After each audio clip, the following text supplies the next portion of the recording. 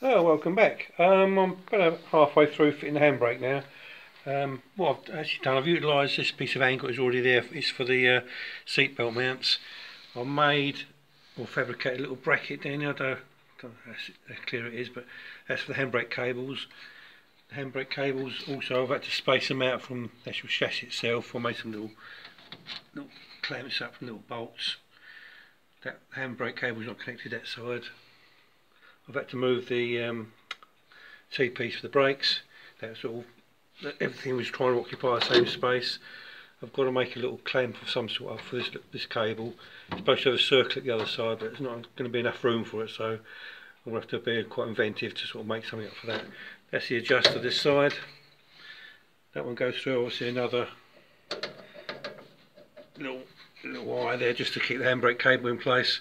I'm probably going to put a piece of rubber in there yeah, the handbrake levers all in.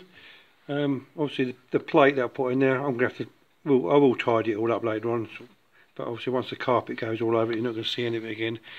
I've made a, a little pin in there with a little R clip. So I don't know why I put an R clip rather than a split pin. I think it's just because I had it. I had to cut a hole through the bulkhead, or what you call it. So this all cut the hole. I'm going to have to dress that up and put a nice bit of rubber around it. This is one of the cables for the handbrake that's the other one. So on here somewhere I'm going to have to cut them and put some of them um, bulldog clips I think that we call them so I'll put loads of them on there. So everything's working okay. So um, I'm quite pleased with it so far. Yeah so the handbrake cable's almost in. Just could put the brakes back in. Um, things sort of get some start off doing a little job and it gets worse and worse.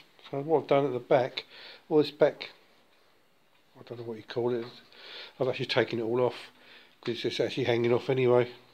This one's not very good. It did have a little lid lifted up and down. It was hinged over there somewhere, but obviously I'm going to take all that off. Don't really like it. Uh, so it's, it's, all coming together nicely now. The actual car is actually fairly well made, but it's just bits and pieces that I just don't really like.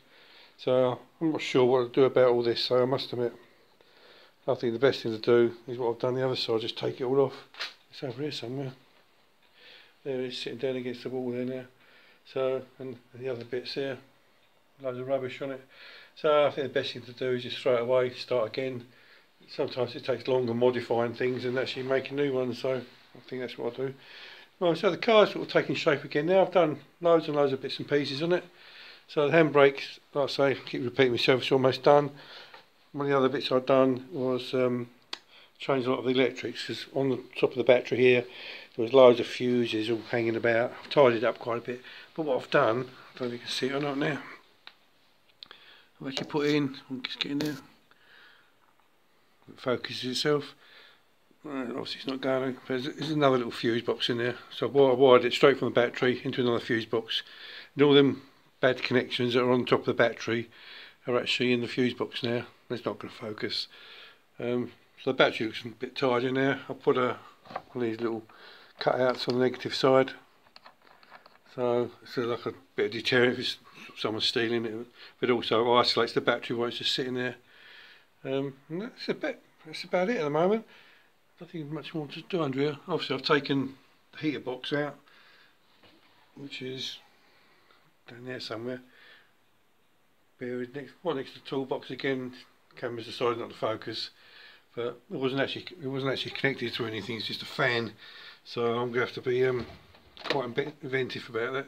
So anyway it's looking good so far I'm quite pleased with it. Still bits and pieces to do here and there but get the handbrake done get the brakes done. Job's a good one. Thanks for watching see you again shortly. Bye now